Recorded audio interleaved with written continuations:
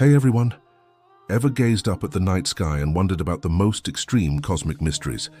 Specifically, what would actually happen if you fell into a black hole? It's a mind-bending thought. As you get closer, things get wild.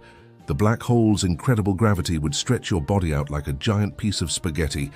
Yep, scientists actually call it spaghettification.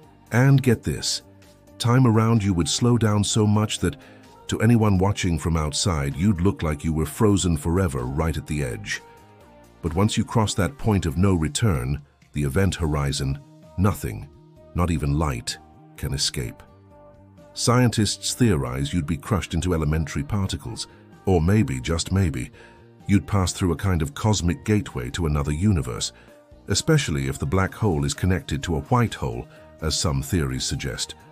So falling into a black hole could be the ultimate end, but it might also be the door to the biggest mystery in the universe. If you love exploring these strange and wonderful things in space, make sure to like this video and subscribe to the channel to keep traveling through the stars with us. Thanks for watching.